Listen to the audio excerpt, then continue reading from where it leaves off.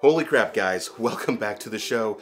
We just finished watching season 9, episode 5, What Comes After. This is, was Rick Grimes' final episode on The Walking Dead, and mind blown, awesome episode, just throwing it out there. I, I experienced so much emotions during this one, I didn't know what the hell was going on. I just, there was just so many things going through my mind about watching Rick through all these years and just watching his journey and then seeing him grow and regress and go back and go forward and so forth. And as he's on this journey in this episode, uh, you know, as just from the start, and we're just getting straight into it and showing that episode with him in the in the hospital bed, and he's telling himself to wake up. I got to admit, now there's gonna be spoilers in all this, so if you haven't watched the episode, do not watch this. Get out here and then come back and then watch this reaction. You can even see some of my reaction. I was bawling like a little baby. This is ridiculous. So, anyways, uh, he was laying in there and he's looking out the window. Remember, he saw those birds and whatever. Remember, they turned into those helicopters. That right there just immediately just sent me a nod. Like, is there a chance that he could be saved by these guys? And I'm like Eh, maybe, but probably unlikely, right? Well, anyways, we'll get back to that in just a little bit. So he, just starting off with him in that conversation with himself, telling himself to wake up, and he gets back to it. And I mean, talk about smart move. I would never thought to take my belt off. I guess, but that makes you a great survivor, right? Takes his belt off, throws it over the, the loops. It's just out of reach with his hands, and he lifts himself off the rebar. How intense and exciting was that? Just to see him, and also hurtful too. I mean, just seeing how hurt he really is. And as he gets on that damn horse again, which we'll get back to him in a minute, and uh, they start making their journey as he's trying to lead these two huge herds of walkers away. They're so close near to the hilltop settlement and also the forest encampment.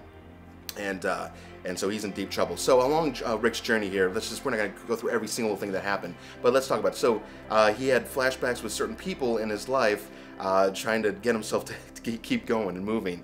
And one of the first flashbacks was uh, Shane as he's uh, telling him to to wake up and, and do basically have this conversation and they kind of come to terms about what went down and basically when Rick killed Shane. Now obviously this is all in Rick's mind. I mean who knows what Shane will true words he really would have to say to Rick. But I mean they were kind of semi inspiring. They weren't uh, trying to down Rick. I mean it's like dude you come so far. You know just got you gotta get up and you gotta keep fighting. You gotta keep moving and uh, wake up. And so he sees him. He sees Hershel uh, uh, R.I.P. Uh, Hershel. You know, he passed away, uh, I think, just a few weeks back. And so, uh, but it was great to see him on screen once again. A final send off to his character Hershel, and, and, then him in real life as well.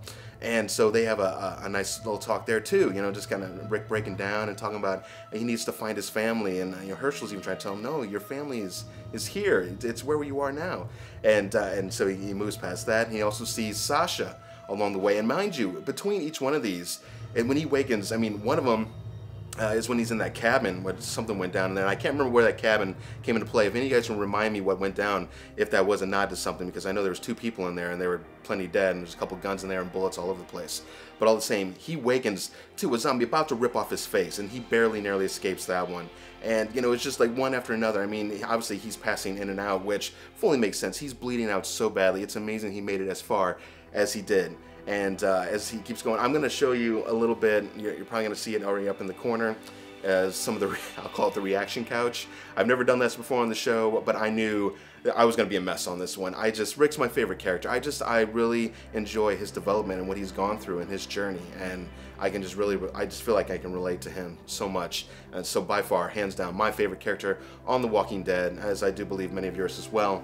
And it was just, it, I just felt the emotions start hitting me. Um, my uh, the music score score during the entire episode was amazing, just totally wrenching at your feelings and just just turning them right, just turning them on. And I already felt myself kind of start losing it just earlier on when he had those conversations with even Hershel and Sasha. And even let's talk about on a, a quick side note, let's talk about Negan and Maggie. So Maggie uh, makes her way finally into Hilltop. She gets there and Michonne is standing right in her way, and I'm like is this really going to go down? Are these two really going to fight it out?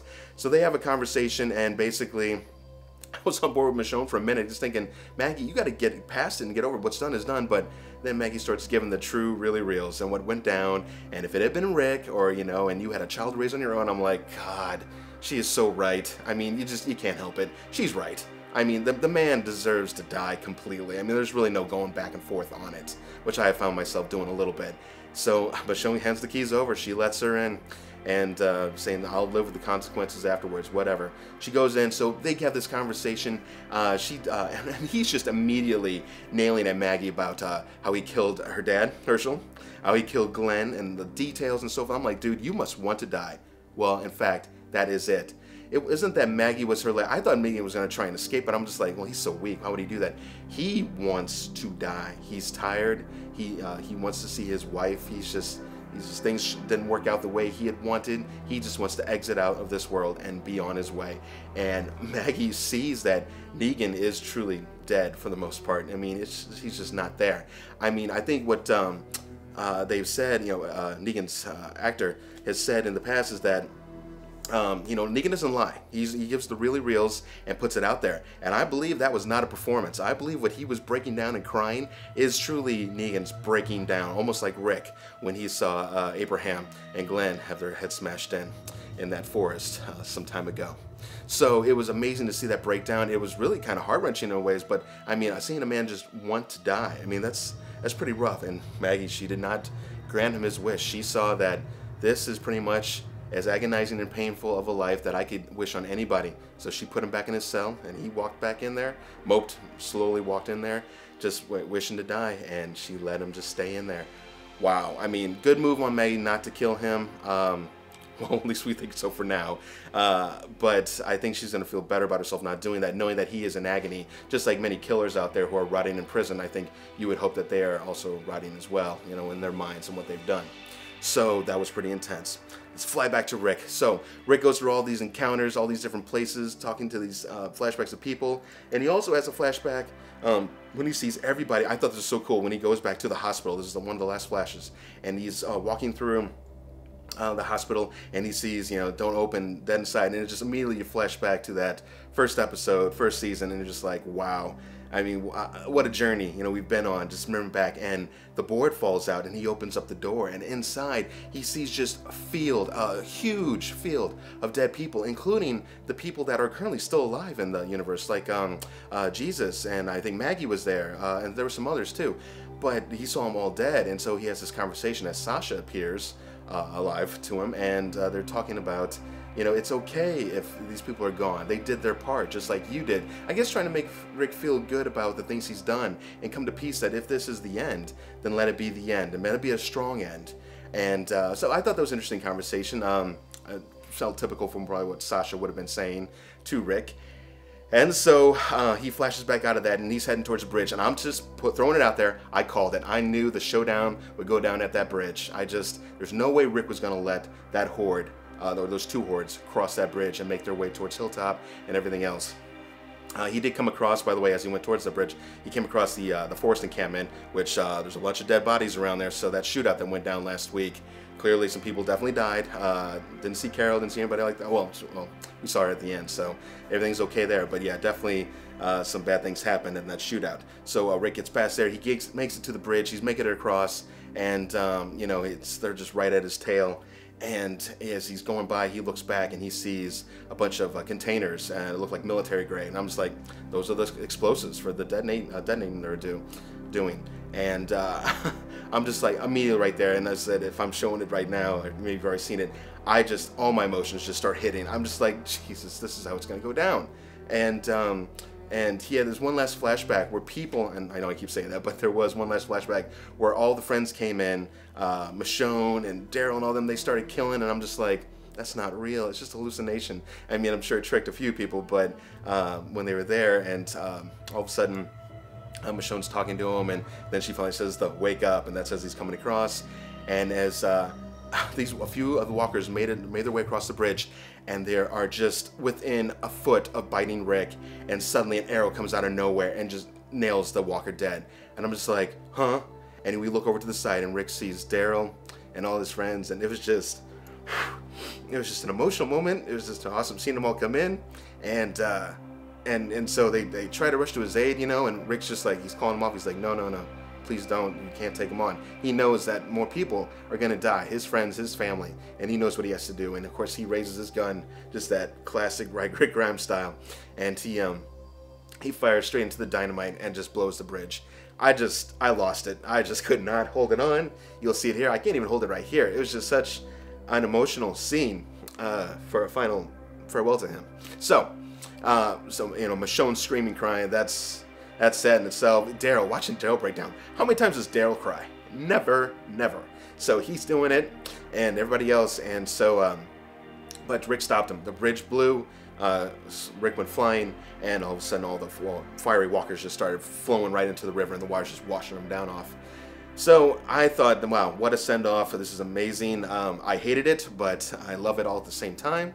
And then, just when you thought things couldn't get any crazier, uh, we had uh, seen Jadis earlier talking uh, to her helicopter peeps, just saying like, "Yeah, I got your A ready, and I need extraction. Come and get me. You'll know where to find me." These guys already sound like they feel like this could be a double cross, which is interesting.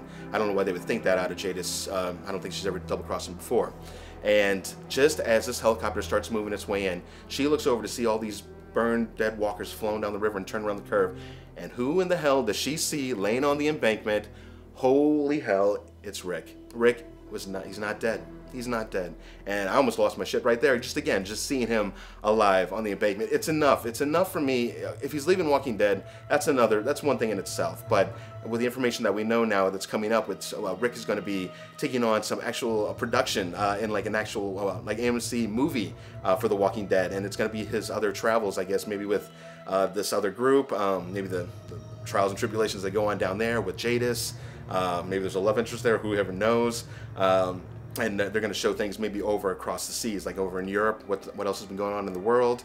Uh, they're just going to do a whole bunch of different ways of telling Walking Dead stories, and uh, Rick Grimes, uh, Andrew Lincoln will be part of some of those stories. So how amazing and awesome! Um, Jadis gets her on, gets him onto the helicopter, and the last scene, she's like, "You're going to be okay. They're going to, they're going to fix you." And uh, he's just there with a mask over his head, and she says, and by the way, she called him a bee. So again, I don't fully still understand what A and B means. I thought A's were good, but now, I, but well, what we do probably know is so. She said it's a friend and he needs help. So B's sound like a good thing. I want to say, but I'm so freaking confused on it. So whatever. If you have something on it, please make sure to mention in the comments. Uh, I hope you had fun kind of watching the reaction couch, if you will.